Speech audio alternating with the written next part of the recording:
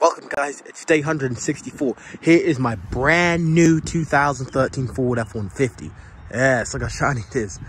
Today I'm using my brand new F-150 and I got my saw in the back of my Ford F-150. And now I'm going to take down this tree. It's over hanging the road. But this is what happens when you buy a truck. You use it for all kinds of work. So, yeah. So this truck is brand new. I'm gonna load the wood. I'm gonna stick the wood into the back of my brand new Ford F-150. Check this out. Look how clean that is. See, thing is clean.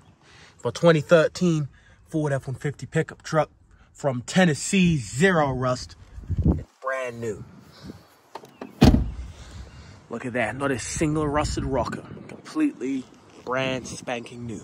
Five liter V8 Coyote engine purrs like a kitten. No EcoBoost. I know there's some EcoBoost boys out there, but nah. 5 -0. Look at that. Built in Dearborn Truck Assembly Plant. Yes, F-150 XLT. Yeah, look how shiny my brand new truck is. Yeah. It's ready for work. Now, unfortunately, I can't videotape cut the tree down, so I'm going to have to set the camera down. I'm going to show you the aftermath afterwards. Until then, thanks.